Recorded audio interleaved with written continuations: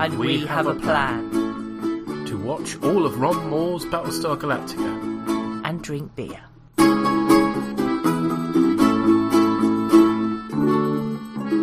Hello, friends, and welcome to Borgcast Galactica 3.2. With Peter and Anne-Marie. And this podcast is sponsored by Turnips R Us. Everybody seems to be getting into sponsored podcasts, so I thought we'd jump on the barrel. So if you're looking for tasty turnips, look no further than turnipsrus.com.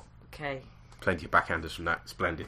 Anyways, on to Night 2, which I discovered why they're called Night 1 and Night 2, and it's not very exciting, the answer, I'm afraid. Is there one aired on the first Night and one head on the second, exactly. So there's me thinking it was some sort of plot thing. No. No. AKA an hour and a half into the miniseries, okay? But that's Yeah. less exciting than saying Night 2, so there you Yeah. I'm an observer of human nature. When you get right down to it, humanity is not a pretty race. I mean, we're only one step away from beating each other with clubs like savages fighting over scraps of meat. Maybe the Cylons are God's retribution for our many sins.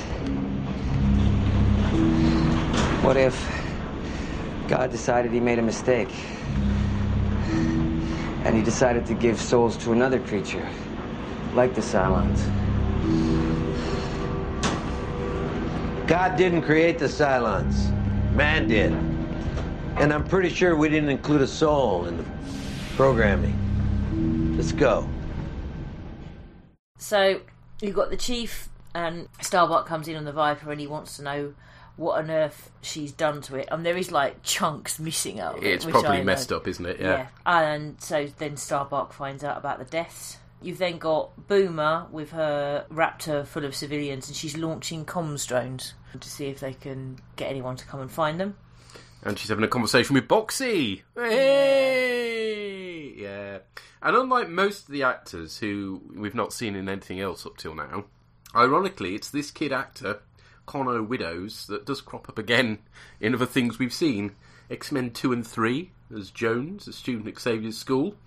He's the one who can control electrical systems with his mind. Mm, Boxey's dad was the, the armistice officer right at the beginning, so I think uh-huh. I probably mentioned in the Yeah. previous podcast.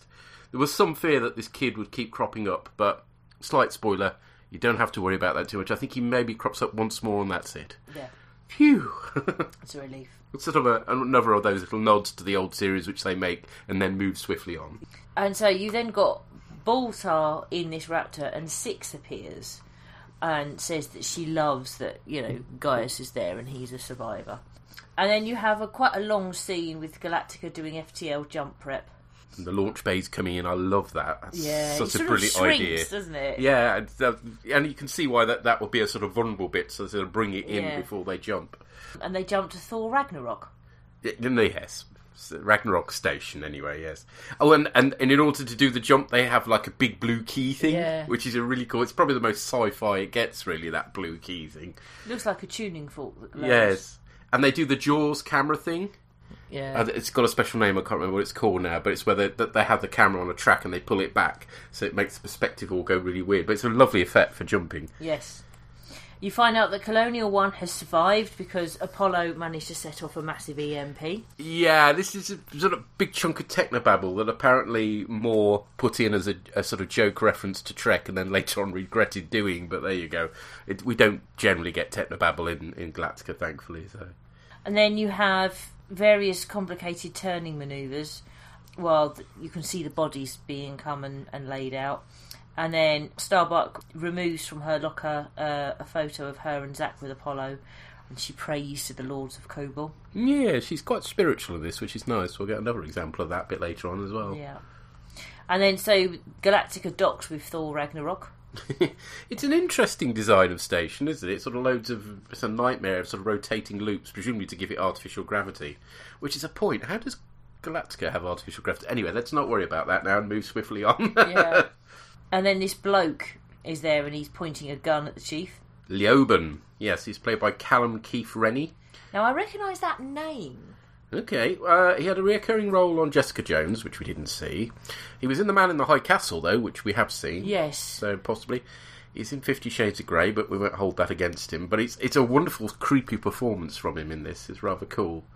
And uh, the whole inside is filmed at a combination of a British Columbia railway building and a, a sugar mill, which apparently was a really horrible environment to film and You can kind of see all the dust and crap floating around, but it just it's great because it looks real. It's, Yeah. it's clearly not a set. So it just a it's cheaper because they didn't have to build it, and b it just lends a lovely sense of realism to it. It does, it does. I really like it. And then you've got Boomer helping people off the Raptor because they've found safety, and she's explaining to Apollo about the old Vipers. Yeah, did that feel like a bit of a jump to you? It did a little bit. Yeah, there's apparently a missing scene that they didn't have time for, where basically sort of Boomer has a chat with Apollo and explains where she's been because they, they seem to be midway through a conversation, which seems real consi- weird considering they're you know sort of insignificant characters, but that's the reason why. Yeah. And then you've got the president asking to see Baltar, um, wants him to be her chief scientific advisor. Which, you know, makes sense. If he's Yes. got a reputation as a scientific genius, that's what you're going to want to do, isn't it? Mm-hmm. And then you're back with Chief and Leoben. I just love the way the Chief deals with the idiot. He's just Yeah. like, unless you think you can shoot all of these people with one gun, just shut the fuck up and move out the way. and then Baltar on Colonial 1 sees Six again.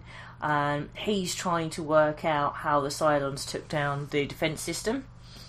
And she says she she wants him to love her.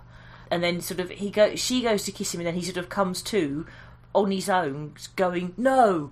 Yes. So proof if proof were needed that she isn't really there. Yeah, she's kind of in his mind somehow.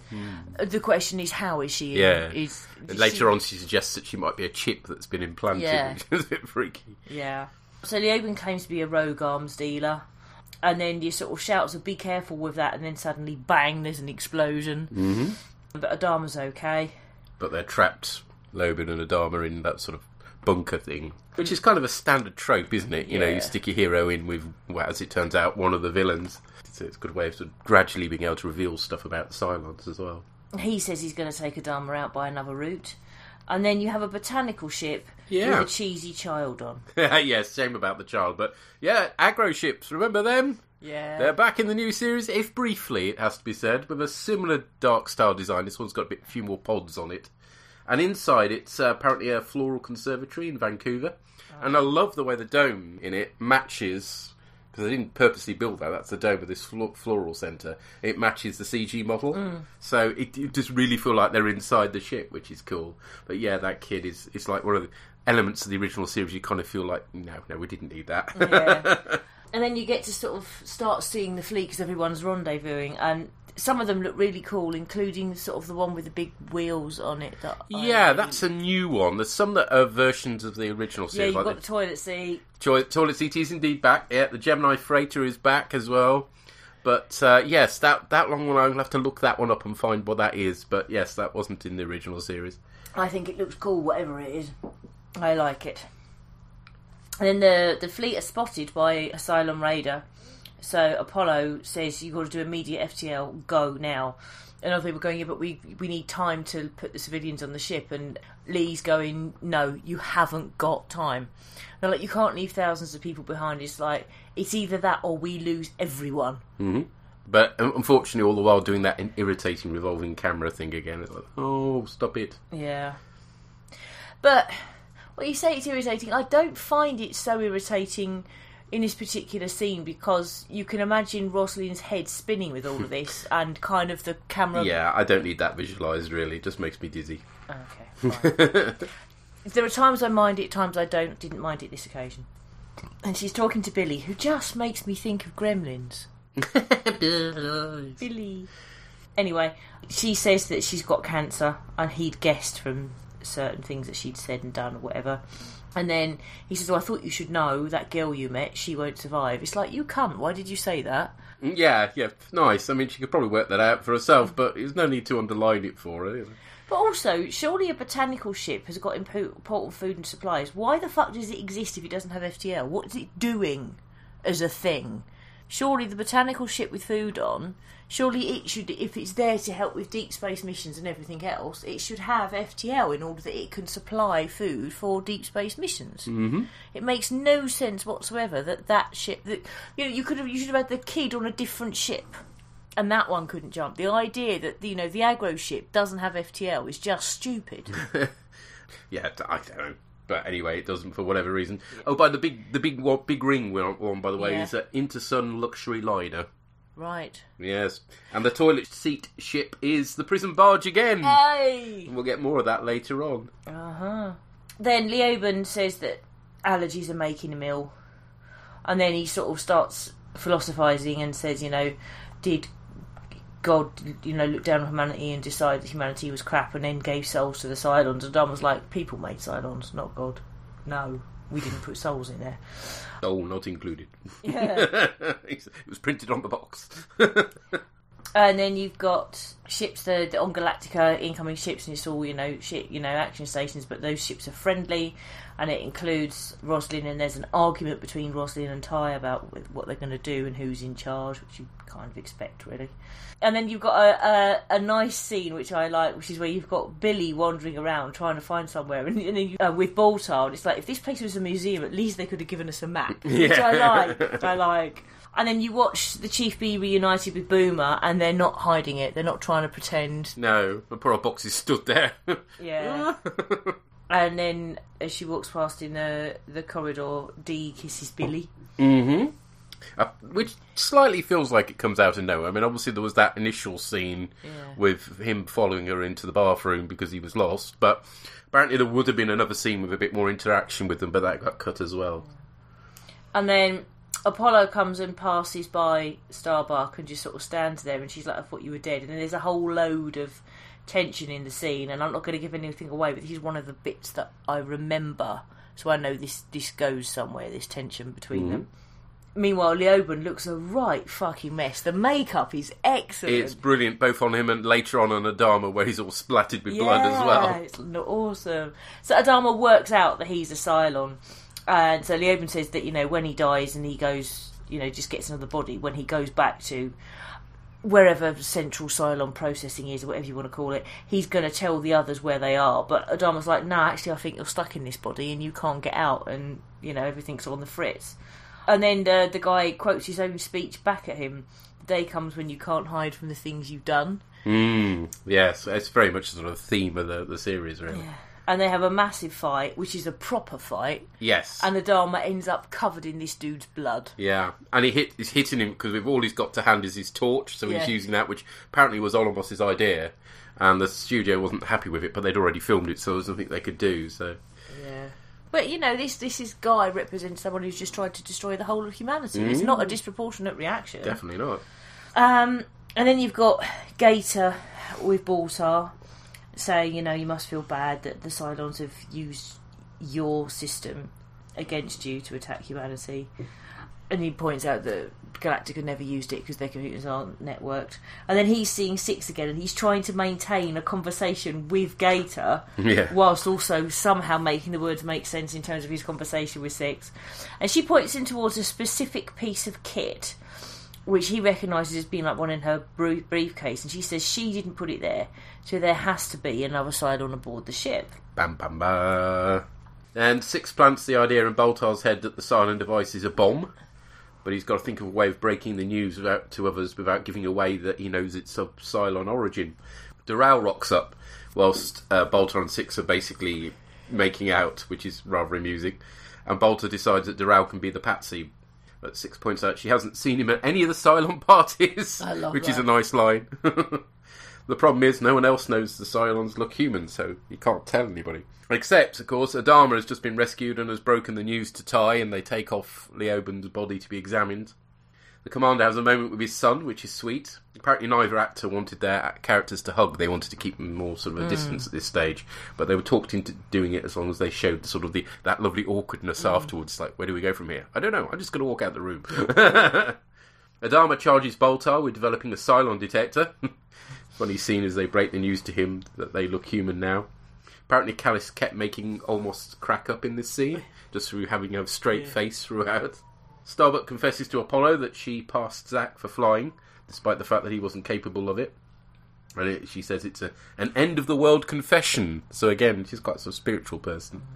On Baltar's advice, Captain Kelly arrests Doral, but Tigh asks Baltar why he wasn't sick due to Ragnar's radiation. The doctor puts that down to the short time he's been exposed and tells Tigh about the device on the Dradis. You're thinking at this point that it's horribly unfair that Doral has been set up, especially when they decide to strand him at Ragnar a bit later on. Starbuck on patrol reports to CIC the Cylons have found them, and sure enough, they, you see a huge base star looming over. Ragnar. It's weird they didn't send a Raptor for this. I, I would have thought that would have been more logical, but uh, there you are. Maybe they had to repair it. Mm. Well, they've got several, I should think. We finally get a face-off between Roslin and Adama. It's government versus martial law. He just wants to seek out the enemy, but she points out again that the war is over, and running is the only option to allow the human race to survive by having babies. And he mm. just walks out on her. Jumping out of Ragnar isn't possible due to electric interference. And whilst his officers are discussing what to do next, Adama is watching Billy and Dualla chatting and just comes out with, they'd better start having babies. is that an order? Tigh replies, which is great. They decide to jump to the Prolmar sector, which is further than anyone has jumped before. But they'll need to be clear of the interference, so they have to hold back the Cylons while the civilians jump first. Fleet begins to move. We see Galactica's turrets fire up, very reminiscent to the original series again, but this time it's not lasers they're firing, but traditional ammunition. And it's, it's this great sort of whole sort of pillar of fire that they Yeah. launched, stopping the um, firepower of the base stars and like the raiders. gun, and-? Yeah, but the whole idea is it's like a curtain of, Yeah. of munitions that uh, stops the uh, you know the baddies from hitting them. Meanwhile, you've got 72 raiders launching from the base star with their eerily shrieking noise. It's just wonderful effect shots. Yeah. Really cool. Vipers engage the raiders, and it's all very crunchy, with ships getting blasted to bits. This is the stuff that you need CG for. That's very hard to do with models. And you've got none of your superimposed explosions either, because you know, whereas in the original series they didn't want to blow up any of their precious models. Here they can blow up Yeah. CG ones with no effect. Yeah, I really like the way that this is shot as well because it's Trek is very static, kind of on a plane, and this is all over the shop, isn't it? It's Mm-hmm. it all is. different angles and upside down, and Yeah, as space indeed is. Uh, and some of the raiders actually have shots on target as well, so it's another Yeah. departure from the original Yeah. series. The recall order is given, but Starbuck and Apollo are still out there as his ship is damaged. Uh, it's a wonderful performance from Sackhoff as she's like she's she crashes into his ship and goes to fly in through the tiny gap Yeah. that's left as the landing pods are closing. And uh, you're going in a bit hot, aren't you? Am I? And there's like this mad, staring look on her face. Then we get Elosha leading a requiem service, although quite how they retrieve the pilots' bodies before jumping is a bit of a mystery, it has to be said. Since I, I presume it was for the guys who died in the fire. no, because there are, are some along the back that have got the helmets on them, Okay. so it's, it could some of them certainly could be, but not all of them. Yeah, and we get our introduction to "So Say We All," their version of "Amen." Adama isn't impressed with the response, so he gets the congregation to repeat it until he's happy with it. Something that always annoys me in church, but there you go. Yeah. So say we all. So say we all. So say we all. So say we all. So say we all. Are they the lucky ones? That's what you're thinking, isn't it? We're a long way from home. We've jumped way beyond the red line into uncharted space. Limited supplies, limited fuel, no allies, and now, no hope.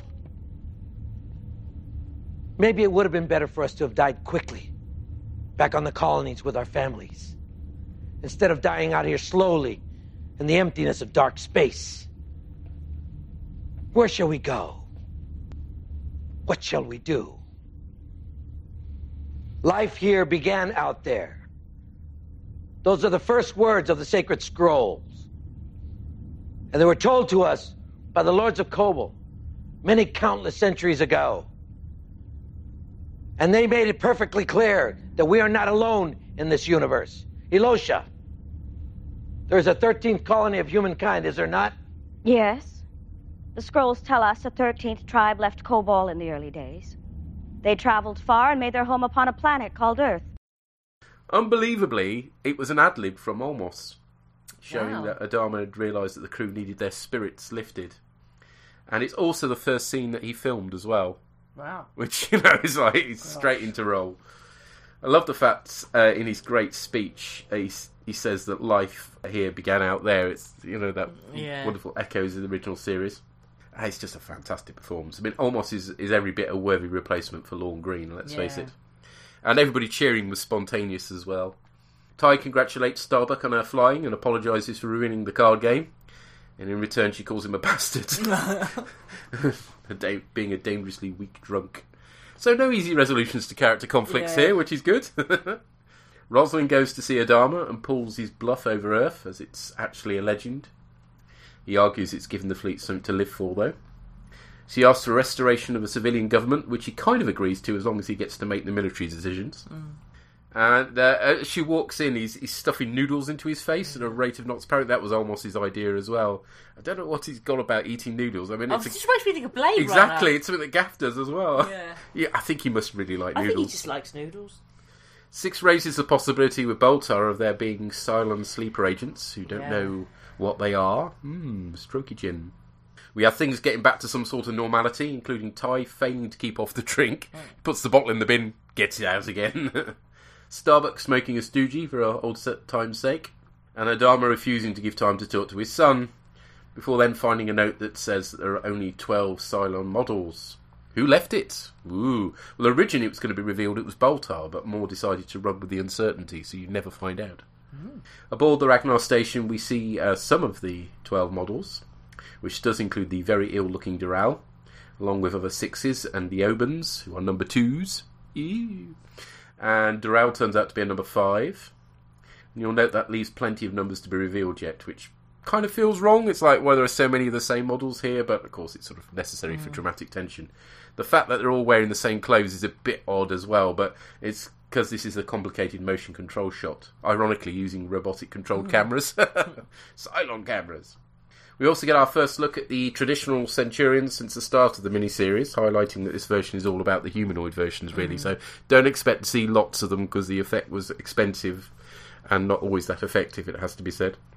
They talk about having to track down the humans lest they return to take revenge. And the number eight, aka Boomer, says that they'll get them in the end. By your command, Six replies, which is a very nice touch and mm. callback. Grace Park didn't know that Boomer was going to turn out to be a Cylon because originally she'd auditioned for Starbuck, so that was a bit of a surprise to her, apparently. Gosh. And then we play out to drums and a bit of strings, which is as close as they get to a theme tune, which is not exactly memorable, but there we go. That's the different style that they're going for. And there we have it. Second part of the mini-series, very action-packed. Yeah. If the, the first part seemed a bit talky and slow, this certainly makes up for it, and that final battle is just fantastic. I really like it. I like the fact that Adama gets to punch the shit out of Leoben as well. it's very satisfying. right. He's a creepy. Yeah. And I, I, I like Six as well. There's certain things she says, like, Gaeta is going, you know, you must feel guilty, and he's going, yes, and Six is going, no, you don't. That's why I like you. yeah, their, their uh, relationship is really interesting. Yeah. And the whole thing about, you know, you don't know who is and isn't going to be a Cylon, and there are plenty of other models out there to discover yet. It's nice sort of Yeah. seeding. Uh, But I like as well the whole, you know, we've got to be really careful because in terms of who we tell and, and what, because otherwise people are going to say that someone's asylum because they haven't cleaned their teeth in the morning. Yeah. Yeah, they can't keep hold on top of that for too long, I don't suppose, but yes. No. So yeah, generally I really like it. I like the look and the, the feel of it. Although there was one moment where a bloke who's on a chair with wheels, why, ends up diving headfirst through a screen of glass. Yes. And you think, that's not very practical, is it? on a bridge, but Yeah. I suppose they're not supposed to be moving much, are they, so usually, so... Yeah, hmm. even so, it's still. But they, I think the reason I notice the little things like that is because everything else is done in such a realistic way. It Yeah. stands out. And again, filming in actual places Yeah. also helps as well for that level of realism. Here we go. So we enjoyed it, but what did other people think? Doreen has this to say.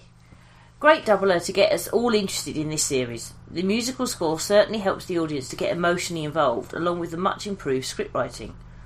I'm really getting a post Frankenstein vibe from this. Okay. Adama is a liar and Boomer is a Cylon. So say we all. I was unfortunately reminded of Delia's Where Are You at Norwich Stadium when Adama was trying to get some feeling into the fleet's Our Men. I mean, so say we all. Okay, that, that's a reference to, for our international listeners. God, we've got to explain Delia Smith from Norwich Football Club now. oh, thanks, Doreen. So she, yeah, hosted cookery programs, and then I don't know if she actually took over the football club, but she's a She's part on the board. On the board, yes. Yeah, just okay. Yeah. Let's just move on. Um, Doreen says, "Hope, but false hope. Is this a good basis for a civilization? Well, Interesting it can't, point. Can't be much worse than ours with all its fake news. no, indeed. And Doesn't Pratchett have something to say about what people, keeps people going is hope, Yes. even if it's not realistic, even if it's only very slim? It's what keeps people alive. Mm. We've also heard from Sampo. I come back to you now at the turn of the tide. So yes, hello orcs, I'm back and I'm here to give feedback for Battlestar Galactica, the good version. I skipped both the older older series, but I did still enjoy listening to you suffer through them. Thank you, I think. and since BSG is one of my favourite sci-fi shows, this was a perfect opportunity to rewatch the series. I actually haven't w- watched any BSG since Series 4 ended, so maybe the 10 year gap will allow me to rediscover at least part of it with fresh eyes.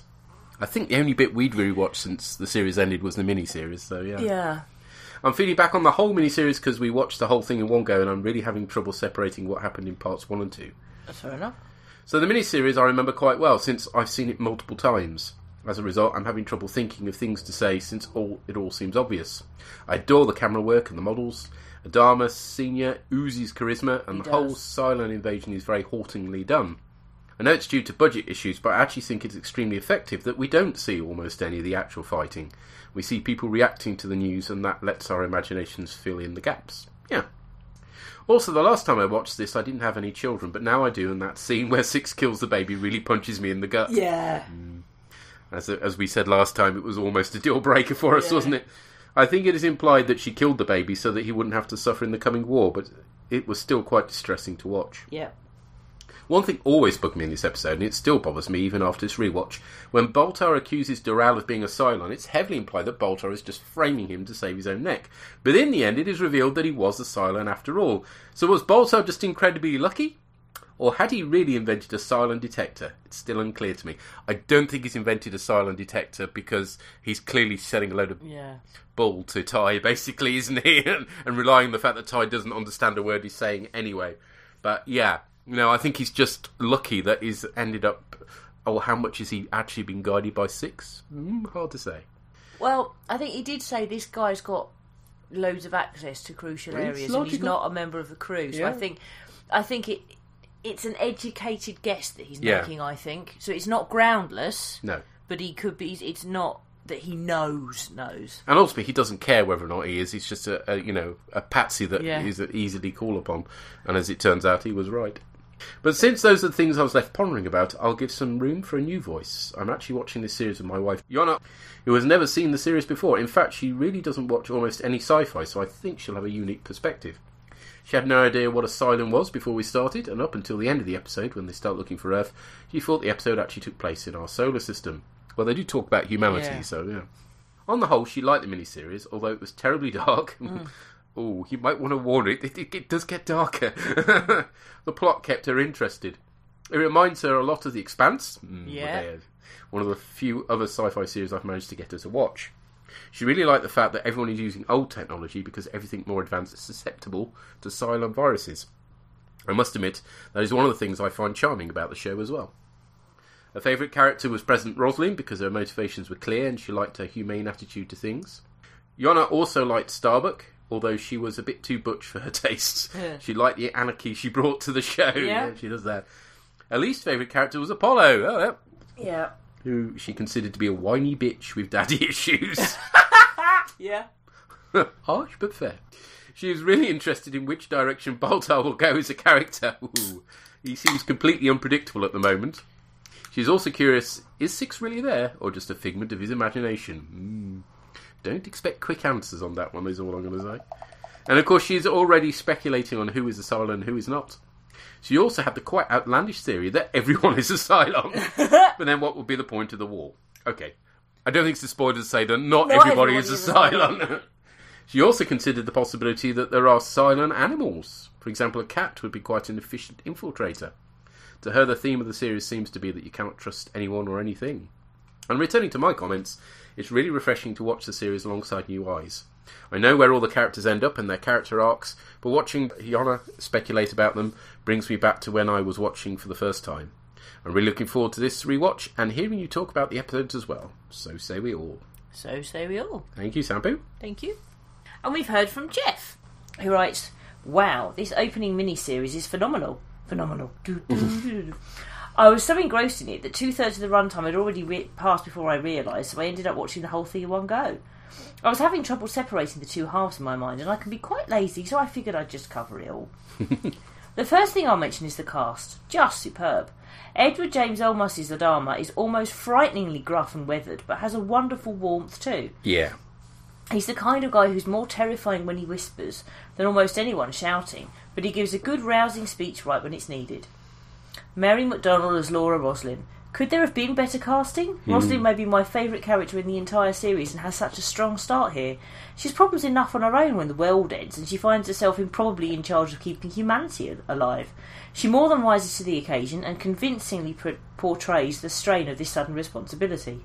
Gaius Baltar, another highlight. James Callis, who I was convinced was Alexander Siddig when I first watched this back in They do look similar, don't they? Yeah. Gives life to such an amazingly slimy character. It's a delight watching him weasel his way through one tight spot after another, but he's convincingly devastated by the disaster he inadvertently helped bring about. Everyone is on top form. Tigh, the washed up drunk who has to step up in a moment of crisis. Tyrol, a real man of the people blue collar character, loves his people and his work. Apollo is a lot like his original series counterpart, solidly heroic, but now with daddy issues. Starbuck, from the time being, is a hotshot pilot with a chip on her shoulder and problem with with anger management. Hmm. There were moments it felt like Katee Sackhoff seemed to be directly channeling Dirk Benedict, but I felt the same way about Bradley Cooper as Faceman in the A-Team movie, so it might just be me. I was doing a disservice to Tricia Helfer in my memories, dismissing her as just a pretty blonde in slinky clothes, but she's truly compelling very scary. She is quite creepy as well. Yeah. Yeah, no, she just... I love characters that only one person can see, and she's excellent as the perhaps imaginary number six. There's only really one character I didn't like, Roslin's assistant Billy. I don't think it's the actor's fault, but I just found him to be a bland milquetoast nobody. Well, I've rambled on, and I haven't even got to the best part the spaceships! They mm-hmm. look so great. I think they've held up very well. I love the updated versions of the Galactica and the cool Mark II Vipers. The new Cylon Raiders are just fantastic.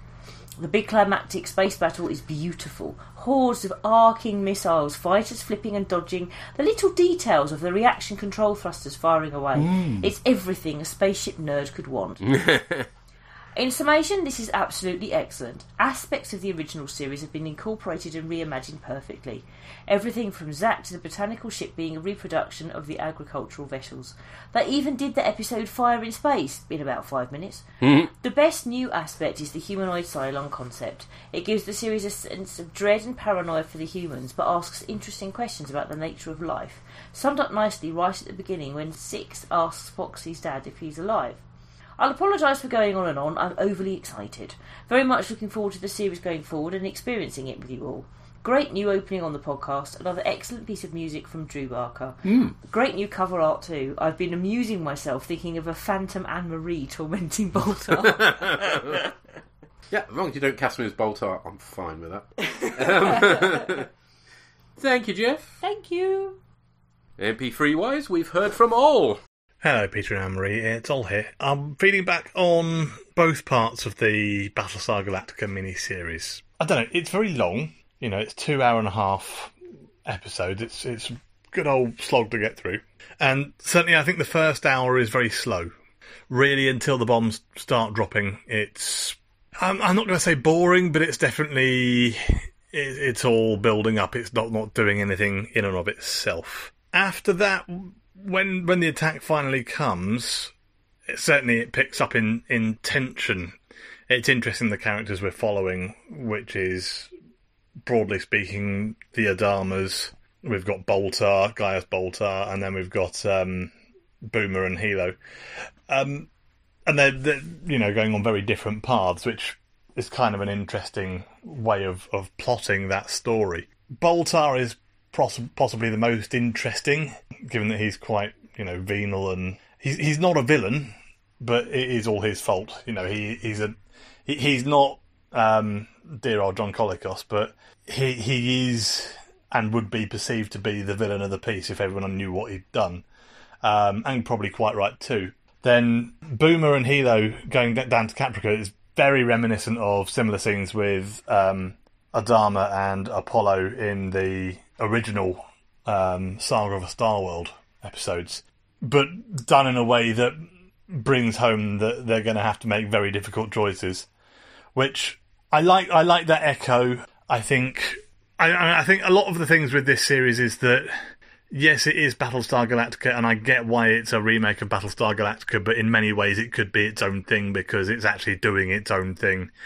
Uh, but but I do like the odd nods that we do have to stories and, and story points from the original series. I'm what I'm not so keen on is the relationship between Lee and um, Commander Adama. I think that might just be me. I quite like a good space dad relationship, and you know, I I know they get there in the end. You know, you can tell that even by the end of the end of the uh, second episode. But I'm not keen on this this whole thing that they've got going on to start with. Um, it just seems a bit. I don't know. I'm unremittingly grim and, and awful. Which actually I think is my problem with the whole thing. Is it is just unrelentingly grim and ugh. There's no no let up to it. Um, even Starbuck is not really given any room to be, you know, fun to be around. It, you know, none of these people feel like people you'd actually want to spend like a night in the pub with, because God, you'd be you'd be wanting to top yourself at the end of that, wouldn't you? And and I think that's going to be my sort of problem with the series as a whole. But we'll see as we go on what what it's going to end up with. But I, I do just worry that I don't know, it's all just terribly po faced. Lots of interesting ideas, but the execution and the tone of the execution is just a bit bit too grimdark for my tastes. Um, without any of the sort of the, the fun that that could go with it. But you know, thank you very much for the podcast. I am looking forward to going through this again at some point. I'll tell the story of how I ended up watching it in the first time round. But um, but for now, I think it's uh, it's a bit of a wobbly start from me. You know, it's all good and it's all proficient, but it just yeah, it's not quite doing what I feel the need for right now. Well, thank you very much, and I will speak to you next time, probably, unless I don't, in which case it'll be the time after that or at some point in the future. Bye bye. Bye. Bye. That's a definite answer there. Um, it is certainly long, which is why we split it in two. I've always Yeah. found it quite a, a difficult one to watch in one sitting. I mean, it's in, yeah, exciting, but it just takes so long to do it. It's very, very rarely you've got over three hours to set aside to watch one thing. So, and it does get darker. Just to warn folk, I don't, well, it certainly doesn't get any lighter anyway. Put it that way. And, uh, and there aren't particularly any lighter characters. There's no sort of comic relief or anything like that. So, if that's going to be an issue for you, it's going to continue to be an issue for you throughout Yeah. the series. Yeah. And that's I mean- partly just because of the situation they're in. They're realistically, you know, they're the last surviving human beings. There isn't a lot of room for, you know, happy-go-lucky, jolly stuff. And the one time they do try it, you know, quite quickly realise it doesn't really work in this setting. So, Yeah. And the, the sense of no let up is deliberate Hmm. because that is the situation they're in. But it's still. I didn't find watching it felt too relentless, I think, because there's enough. Because if it was just slowly they all died, I don't think we would be covering it. Do you know what I mean? So there's. You get the plus points, you get some victories. Do you know what I mean? There is no. In one sense, in overall, there's no let up, but you will get positive moments. And for me, that was one of the things that kept me watching. Mhm. What did Andrew make of this? What do you hear, Borgcast? So, previously on Borgcast Galactica, my feedback had the theme of moderation. This week on Borgcast Galactica, the theme is going to be test, or testing. I feel like there's a lot of testing that goes on. The, the first half of the miniseries puts like, sort of sets up the situation, and now the second half puts things to the test. And I'll start with the Galactica itself, which is put to the test properly against the Cylons and acquits itself very well. Gets physically in between the Cylons and the civilian fleet, lets them jump to safety. I think Roslin has her first test in um, ordering the jump capable ships to jump away, but leave the non jump capable ships behind. And again, carrying on from last feedback, I think there is a professionalism in her when she does that. It's you can see it. It's a decision that weighs on her quite a lot, but there's no hand wringing over it. There's no histrionics over it. It's just This is the practicality of the situation. You need to make a choice. And she makes a choice. And she settles on it. And that's when she properly steps up to the responsibilities that she has as the president of what remains of the 12 colonies. The one line that rings out for me in that um, sequence is the person over the wireless saying, I hope you people rot in hell for this, which doesn't come across at all as figurative. So that's Rosalind's first uh, test of whether she can shoulder the responsibilities of the presidential office, which it seems like she passes, if you can apply a pass fail to that sort of thing. Adama faces similar tests as well. Uh, he has a kind of physical test in his fight against fake Ray Vecchio, which he answers by bludgeoning him to death with a torch. But there are, I think, two more tests of leadership for him. The first one is deciding not to use the Galactica in a one ship war against the Cylons, but to use the Galactica to protect the civilian fleet. So that's one. The second one, I think, is the test of leadership at the end of the miniseries, giving hope and purpose to the fleet. It's not enough to just live, you have to have something to live for. Uh, which he answers by lying, which is kind of interesting. He lies to the fleet. I know where Earth is, I'm going to take us there. Which is a lie that Roslin agrees to keep secret, which I think is intended to make it clear to Adama that Roslin is on his level. Adama's a veteran Battlestar commander. He's introduced as an authority figure, and we understand him to be an authority figure right from the start. And here's this person who he dismissed as a schoolteacher not that long ago saying, I'll keep your secret, I'll share responsibility for this lie that you've told to the fleet. She says to him, If they find out you lie, they're never going to forgive you. If she's complicit in that, they're never going to forgive her either. And her putting herself on the hook like that is her, again, shouldering the responsibilities of being the leader of the fleet. So that's another test for Roslin, test of leadership, which she passes. And I think a final one for Adama is that the substance of his relationship with his son is finally revealed when they're in the commander's quarters and they hug. You know, there have been harsh words and there's been estrangement and there's been rancor, but they love each other. And that's that's the important thing. I think Kara has a bit of a test of her own as well, in that she reveals to Lee the truth about Zach's death. She didn't have to do that. She could have kept it quiet and nobody would have been any worse off, but in the face of potential annihilation, her conscience told her that she had to. And you might even want to throw in Baltar in there as well. He is tested too in terms of where his loyalties are which he kind of answers in his own particular Baltar way, and actually involves a test to determine whether people are humans or Cylons. So that's the theme manifesting very clearly in the plot there. So a lot of testing going on, a lot of me saying the word test and saying the word testing, but that's our miniseries. Onwards to season one. Thank you very much. Bye bye. Thank you. Thank you. At least you said test. And not the time we were playing Warhammer, and I asked uh, our friend was, "Have you got any testes?" To do, yes. Yes. The plural of test isn't testes. No, it's not. No, Um, don't make that mistake.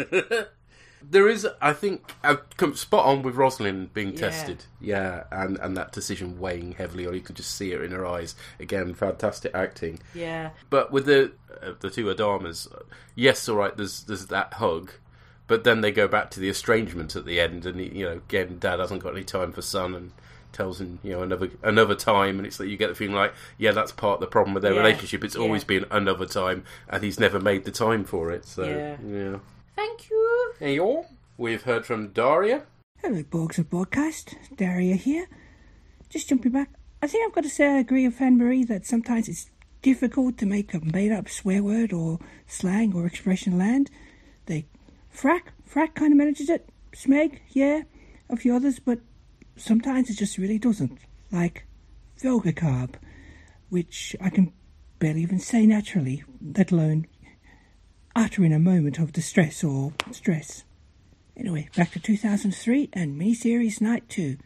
Oh, so Lee, Apollo, younger Adama, made it through after all. And I like the way he and his dad, the two Adamas, are starting to reconcile a bit, but as they even say themselves, it's not all happening overnight.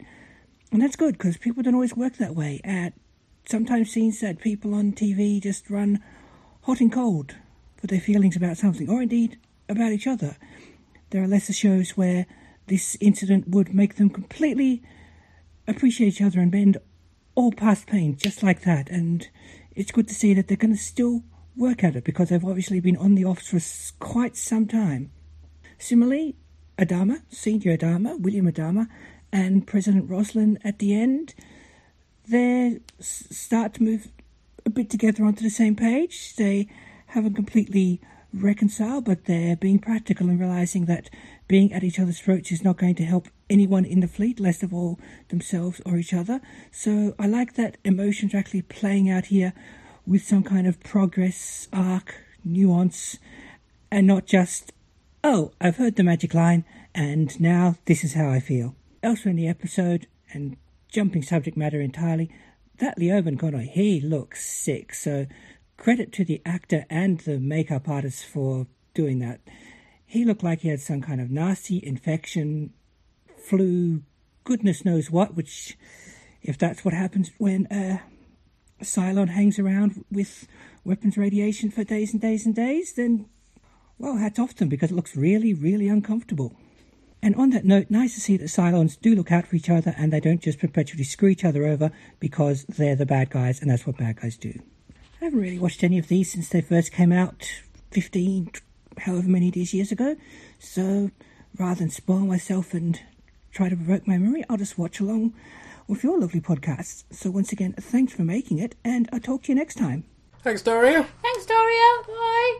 Uh, you're right.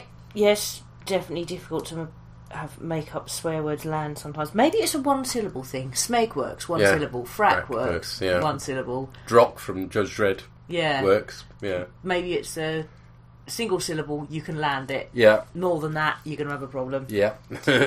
And yeah, it is much more realistic to have it be that both with Adama and Roslin, and then also with with the two Adamas, you know, it's not oh everything's all fixed because you said the magic words. People will blow hot and cold. It is Yeah. more realistic to have it that way.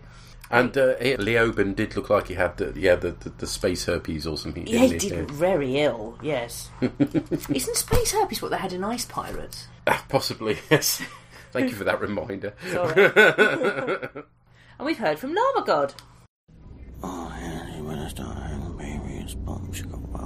Alright, kids, in tonight's episode, we learned don't ever trust your smoke detector. Okay, well, now this is a brilliant half episode. I don't know how you're taking these ones, but yeah, this is a brilliant 90 cent on, so we're still doing that. A brilliant 19 minutes worth of episode here. Thinking back, and I'm afraid I haven't listened to your previous podcast yet, so I don't know what everyone made of it, but I think I was probably a little bit down sounding on the episodes that were covered in your last podcast. But thinking back on it, I guess there's no real way to make the, the entire near extinction of the human race a fun and light-hearted subject, so I guess it was always going to be a little bit downbeat. With this pair of episodes, I'm going to keep on a pair of episodes, even though it's not really, but that's just what the voice in my head is saying to me, and unfortunately looks just like me, so that's disappointing. But anyway, this pair of episodes is a lot more like it. As not just the action, but the character stuff is better as well. My favourite thing that's starting to come to the fore now is the relationship between the civilian and the military governments. I actually love how the civilian fleet and the colonial fleet come together, and eventually they work out some sort of ideal. I like that in this iteration of Battlestar Galactica that it's not one man who is holding the entire fleet together. It's not the charismatic, everyone's favourite space grandpa, Lorne Greene. No, this is a different Adama. He is more of a military man, and it's more understandable. And on the other hand, you've got Laura Roslin, who is a fantastic president. She's only been in the job for a few hours, but already she's making the tough decisions, and there are some horrifically tough decisions she has to make. She has to actually sacrifice thousands of people in order to let the better part of humanity escape, and that's a crushing, soul-destroying moment. Just when you think they're going to have their own aggro ship, which isn't reused stock footage, they go and blow it up again and blow up the little girl as well. And it's harsh, but these are the kind of decisions that are going to be made in these times. And I think what's nice about the program is that it doesn't ever put that forward as being the right choice. It's there for you as the viewer to decide whether she made the right call or not, because the characters themselves remain conflicted, and that's what I really like. So I like this conflict, and the fact that Adama starts to see things Roslin's way is interesting. It'll be interesting to see how this dynamic plays out across the future of the show, with a, obviously a balance between the military and the civilian governments. Another highlight of the episode for me is Baltar and his growing delusion, or is it delusion? Does he have a chip in his head? Whatever the case, he's seeing Six who isn't there, and whatever she's doing to him, I mean, he's definitely experiencing it, as seen by the look in his face when he's in CNC. And I mean, that's a beautiful moment when she's, I don't know what she's doing, but we don't get to see. But is it all in his head? Is it not? It'll be interesting to see how that plays out. But what is really great is the way that Jamie Bamber, I think that's the actor, portrays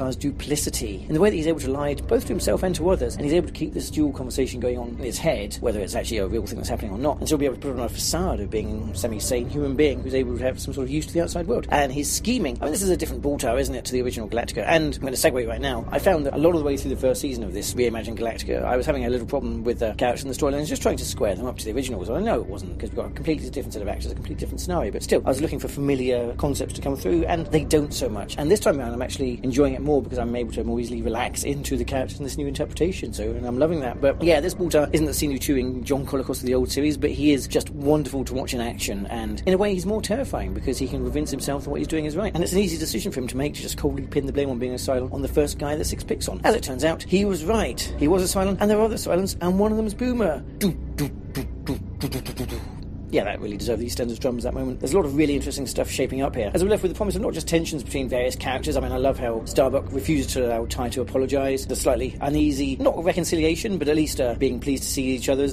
of the younger and older Adamas. But then also the promise of tensions between the civilian and military governments, and also the intrigue. There are Cylons in the fleet. Someone left that message for Adama. Who are they? Are they sleeper agents? We'll just have to find out, won't we? The only bum point of the episode for me, really, and this is a really minor niggle, is the stuff on the space station. It was really clever how Adama was able to figure out that Leoben was indeed a Cylon even though he'd never met a humanoid Cylon before. But this shows that this commander is a force to be reckoned with. But unfortunately, not in the fighting stakes. He's definitely no William Shatner. Actually, no, he is a William Shatner in that the blows that were traded were clearly, clearly not contacting at all. There was some awfully staged fake fighting. But that aside, all that stuff from the station was great. And I know I was probably a bit down on the CGI models last week because I'll always have a fondness in my heart for physical models. But the stuff around Ragnar Station this episode was just absolutely gorgeous. I love the flying into the clouds, atmosphere, whatever. The space battles were tense and wonderful. And yeah, I'm actually going to fall this. I really love the action sequences in this one. I'm slowly getting into the groove of this style of CGI and you know and not being models. And we actually get to see more than a couple of actions that the actors are performing. It's not just the Cylon Raiders being flown over and three of them looking to the right and look to the left. And we get to see the fantastic shot of Starbuck taking in Apollo into the landing bay with that crazy crash maneuver just in time for them to make the jump to hyperspace. They don't. They make a faster than light jump. Now that's one thing that is interesting because they make a great big deal about using the FTL in this episode. It seems to be a dramatic thing. So it'll be interesting to see if they continue using the FTL with this kind of tension and seriousness as the series progresses. So yeah, I've got a feeling they won't do. But it was interesting to see it taken that way. This isn't a usual thing to be using faster than light, and which really suggests that the 12 colonies were all in the same solar system. But that's a debate for another time, I think. Although, if not this podcast, when? But since I'm running out of time. The final thing that I find really interesting in this is that there's a great mirroring between the Cylons and the humans in the, the creators fighting their war against their gods. Well, if not gods, then against the creator. You know, the Cylons are the children who are rising up against their creators, and also they've got their own religion, it seems. Whereas the 12 colonies are obviously polytheistic, the Cylons appear to have some sort of monotheistic religion. If it is indeed the case, if it's not just all down to the six in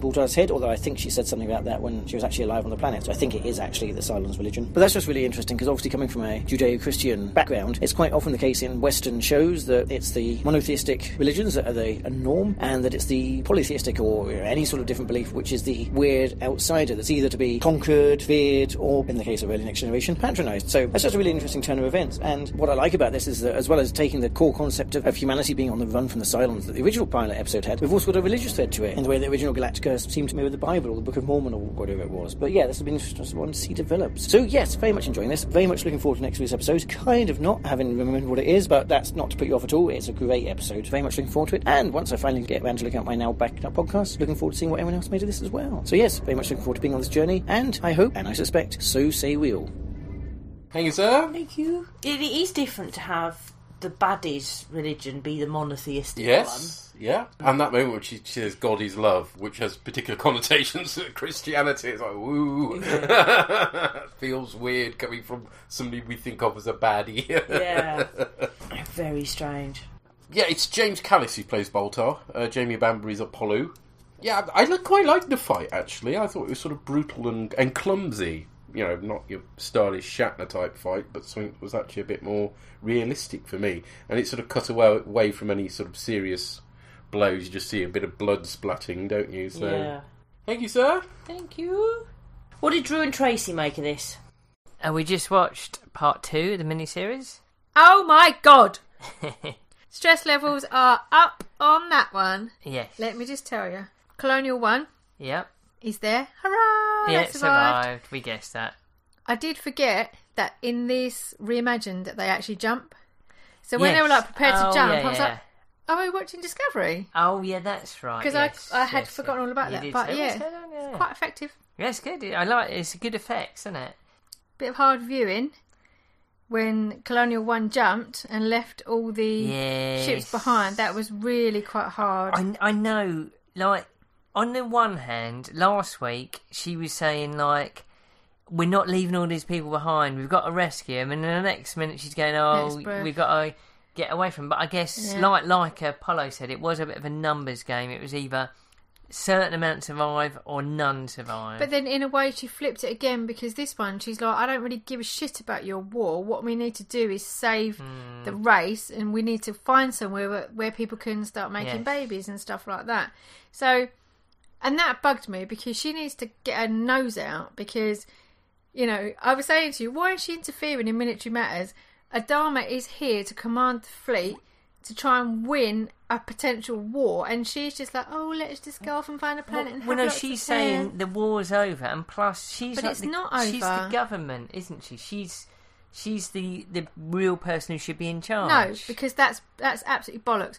It's like Trump being in power. What the fuck does he know about military or governing anything? Mm. she was like forty seventh, example, I forty think, yeah. like senator or something of what- flowers. should, uh, What does that make her?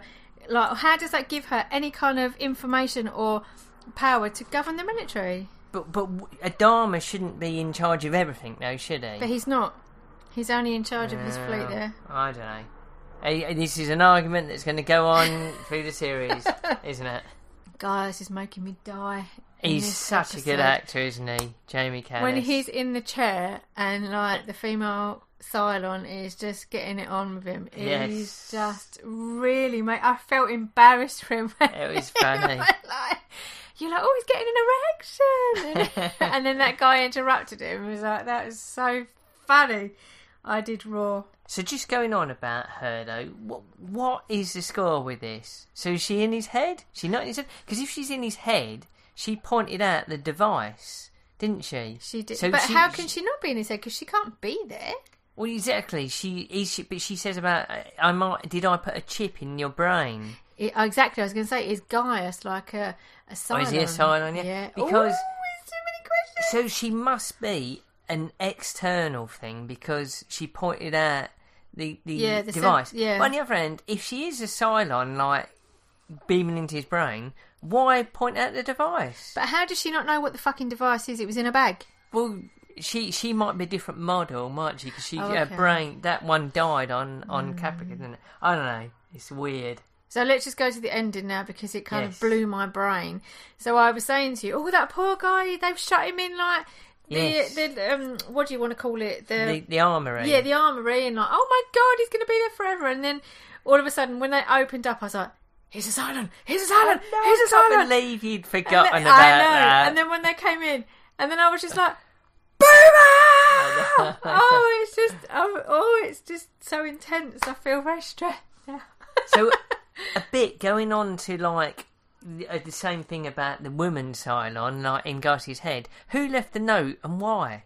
What? Why would you possibly leave the note? I don't know. it doesn't. Many, doesn't many make sense, does it? This almost like a four-parter has kind of like opened your brain now. Yes. I want more. I need answers. And now Yes. because it was zero, uh, Series zero, it said on season zero, Amazon Prime. Yeah. and now it's going to start. Yes. And now it's like fucking hell. I Well, know let, let's get on with it. I, mm, very Great stuff, excited. though. Yeah, really enjoying this. Love Yep. it. Leave it there. Okay. See you later. Bye. Bye. Bye. Thank you. Oh, so it blew Tracy's brain. Yay! Excellent. I remember the, the surprise at Doral at the end because the first time I watched it, I was just so convinced that they had been unjustly imprisoned. Yeah. But then it turns out, oh, hang on, no, he hasn't. but yeah, Rosalind is the recognised leader of Yeah. the human race at this point because she's the dutifully sworn in president. So, uh, otherwise, if it's Adama, then they've got a military dictatorship, which clearly Yeah. isn't healthy. So, yeah. Hence, she says, you know, are you staging a coup? Are you gonna, you know, invoke military law? But this this is a thing that will come back again and again. Uh, You know, who's actually in charge is an interesting. You know, when you're in this sort of perilous situation, it's, it's an interesting question. So yes, there's no easy answers on this one. No, I suppose there's not for any. Depending on how you're, wherever way you're set up as a as a country, sort of here and now today, it's not easy when there's war, is there? No. Because you'll have your president or your prime minister or whatever it is you've got, Yeah. possibly a royal family in some places. that have power in the way that ours don't, and you've got a war on. Who's making the decisions? hmm I think that was what's quite interesting about the Second World War is the way in which we had a so-called government of national unity, which Mm. anyway initially it, it deteriorated a bit later on, but initially had, it was a government made up of all the parties basically. So. Yeah. And we've heard from Perry. Hello, Orgs. Now, uh, it's an odd thing with this series. Like I say, I'm, I'm hoping to try and give as unbiased views as possible, but this really is, for such a grimdark series, it's really weird to say that this is like slipping on a warm jumper, uh, familiar old bit of clothing that you just slip right back into. But that's how I kind of am feeling with this for the moment.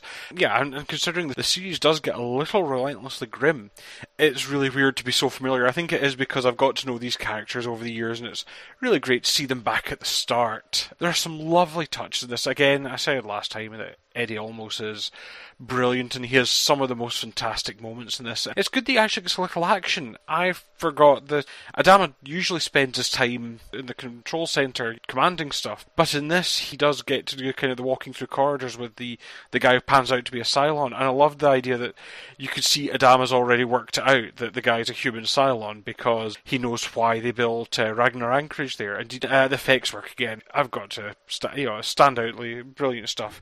The drive into Ragnar Anchorage has a really good good hunt for the Red October feel. You know that there's specific turns they have to make at certain times. I thought that was actually really good. There's also that. I mean, I think I've mentioned to people before that absolutely gorgeous shot. Now, I do like laser beams and shields and stuff, but I do love a point defense system and you know when sometimes they're hurling real things. And I think it was Andy actually told me uh, that yes, the scene near the end when you have the sort of final battle. I mean, I love the way the Galactic just kind of comes out, sets itself up at the mouth of that kind of big green swirly thing, and start hurling everything it's got. And he told me apparently the the shells are meant to be. It's basically he's launching. They're launching exploding Volkswagen Beetles at the Cylons, but just that that wide shot you get with all the Cylon missiles coming in, and the kind of absolute stream of point defense fire and flak coming from the Galactica detonating the missiles as they approach was just a gorgeous shot. And the battle surrounding it as well is quite visceral, very fast cuts. I love the way they've kind of taken what Babylon 5 did with the idea that space battles don't need to be like fighter planes, that they can, and this turns it into an absolute chaotic. I mean, literally, uh, some people call a dogfight a furball, and uh, this is literally the crafters zooming around, they're flipping up their axis. You, you could be on someone's tail, but that doesn't matter. They'll flip themselves over and start firing back at you. That sort of thing is really cool, and just the way ships change direction constantly. So yeah, I did like all other Baltar stuff. Even actually had my wife laughing when the the six that's possibly in his head. So he's definitely talking to a six in his head or something. He's seeing one that she starts kind of uh, getting a bit sexy with him, and then the bloke who actually pans out to be a Cylon comes up to us kind of, uh, you okay? Yeah, it was that kind of embarrassing bit of he's basically having a sexy times on its own. And I, it was some nice humour. There was also, I think, what it does really well. There's, they do like in in amongst the grimness and death and horror. They do like to give you some occasional uplifting scenes.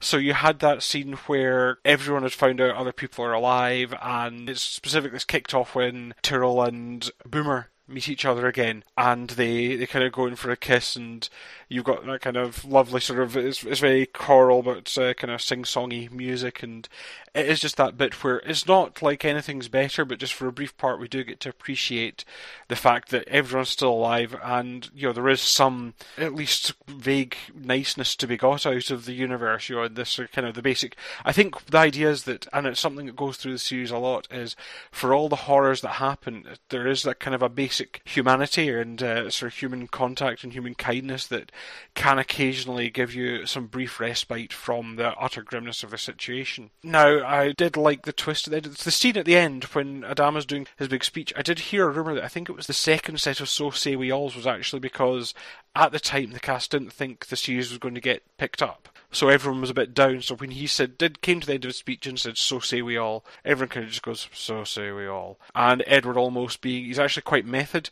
started improvising, kind of drumming them up and that's what kind of got people going, and that's what they kept because it, it looks really, and it is a really good scene. And then there's that kind of twist at the end, which is a really good way of setting up some of the dynamics. So you have the dynamic between Adama and Roslin, where she says, "I knew the president. I've never heard of this secret location of Earth."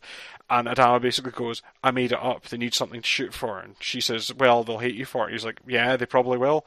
And so it tells us a lot about Adama in that, yes, he will here's how I'm solving this problem at the moment, and I will deal with the consequences later. But also the idea that he's willing to kind of get, uh, you know, Roslin doesn't know that he could essentially take over the fleet. He has a big battle star that could just start punching holes in ships if he chose to. But he's already had that revelation that there's only 50,000 humans left, and I think they really do push that forward. And I mean, I did love the line when he's watching and he suddenly says, We're going to have to start having babies. And I think it's uh, Gaeta says, Is that an order, sir? And again, uh, some nice little bits of levity, but this idea that, yes, they've suddenly realised that. I mean, I did like Roslin constantly drumming. There was a war, we lost. Now we can only survive. And I think that's a really good way of putting it. That there is no fight to take to the Cylons, anything suicide. And yeah, so overall, I mean, I remember actually when I first saw it, I thought I, I was a bit down on the second part. I thought it got a bit slow and talky. But actually, I thought the slow talky bits really worked. I thought those kind of really fitted in and actually did give us a break from sort of the action, so to speak. So yeah, overall, the pilot I think is actually a lot better than I gave it credit for. I was lukewarm in it, I think I said last time when I saw it. And actually watching it now, no, this is a really good pilot. It might be because I know where it's going and I know the characters now.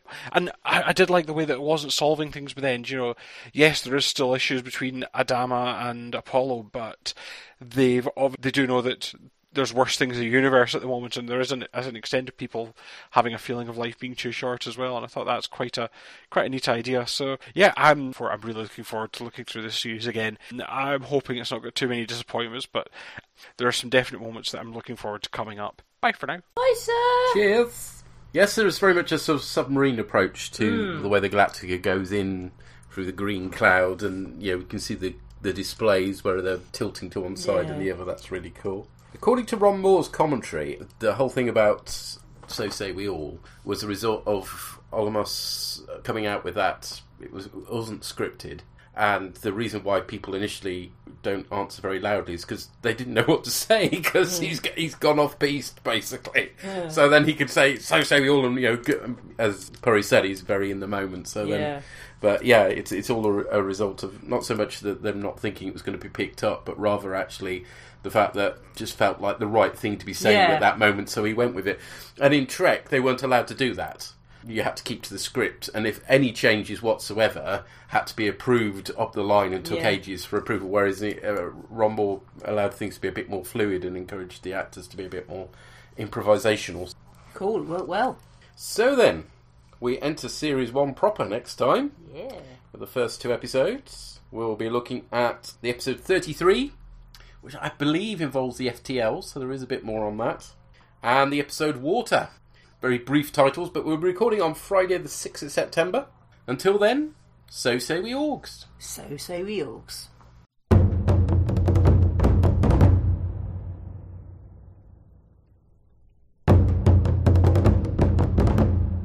The music at the beginning of this podcast was arranged and performed by Drew Barker. All other music is used for illustrative purposes only, and no copyright infringement is intended. The artwork for Borgcast Galactica was created by Andy Pelastides. To contact us, send emails or MP3s to borgcast at gmail.com. Contact us via Twitter at rev underscore org or borgcast ammo. Hashtag borgcast.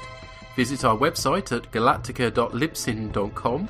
Or view images relating to our cast on our Tumblr site, borgcast.tumblr.com. And there's also a Spotify playlist with all our play out tunes on it.